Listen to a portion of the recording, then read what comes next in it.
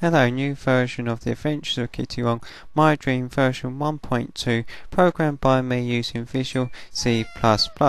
New to this version is the title screen, and at title screen you could see the textured text, which is much better looking text using background and transparency and all that. In this level we have the treasure locator, which helps you find the treasure, and sort of columns game, uh, but in a 3D version. Now if I look up just to show you uh, the rain does actually fall in 3D. Please remember I use Cam Studio to record the game so it runs a lot slower than the game actually does.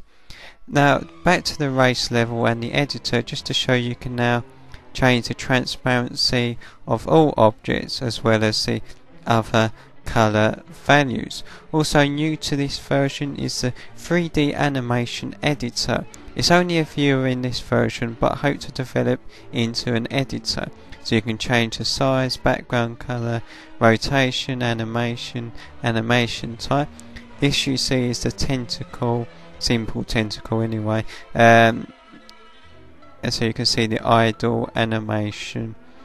Uh, and then just to finish off by showing you that in the race mode the um, timer now appears over sort of checkered flag as part of the HUD. You can turn on and off the different parts of the HUD.